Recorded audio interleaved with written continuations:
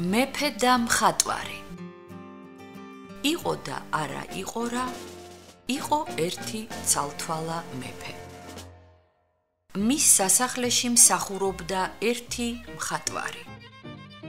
მოუარა მეფეს ხუშტურმა და თქვა რამე მიზეზი უნდა ვუპოვო ამ ჩემს მხატვარს და დავსაჯო უბრძანა მხატვარს. უნდა დამხატო მხატვარმა გაიფიქრა. ახლა კი მოვიდა ჩემი ახსასრულის დღე.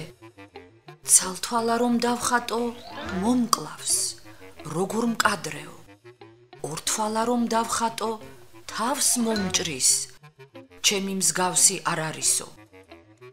იფიქრა მხატვარმა იფიქრა და ეს მოიგონა. დახატა მინდორზე მობალახე ირემი. მეფეს ხელში თოფი მისცა ბრმა თვალი დაუხუჭა და საღი თვალით ირემი მიზანში ამოაღებინა.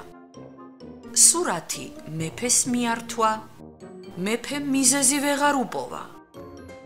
ასე გადაურჩა მხატვარი მეფის რისხვას.